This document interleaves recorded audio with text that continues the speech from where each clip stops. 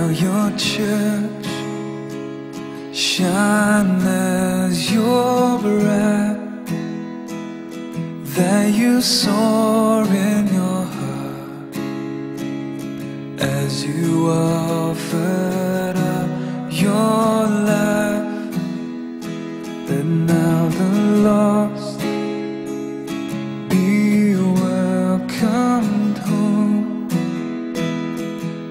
the saved and redeemed, those adopted as your own.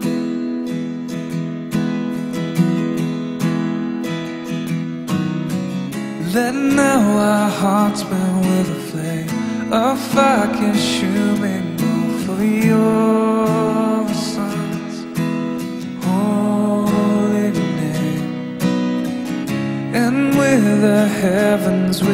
You are our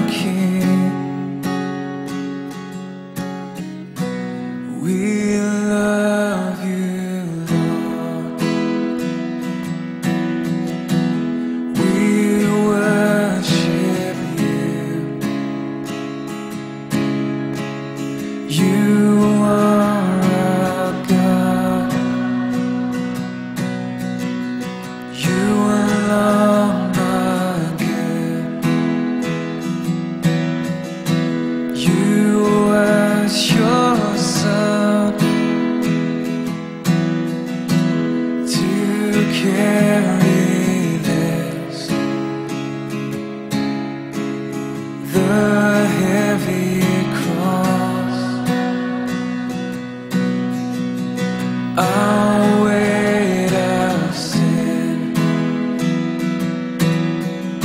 So I love you, Lord, and I worship you. Hope which was lost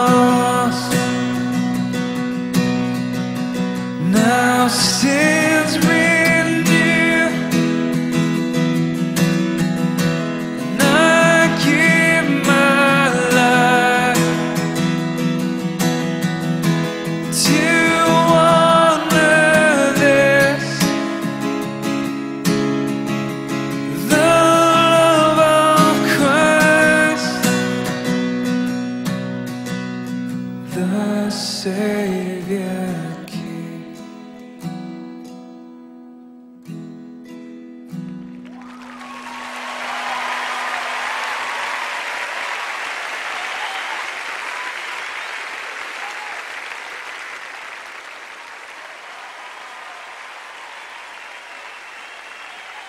It's just the craziest thing to think that all over the world there are people in different settings and different cultures, but they're just like us, worshipping the exact same God.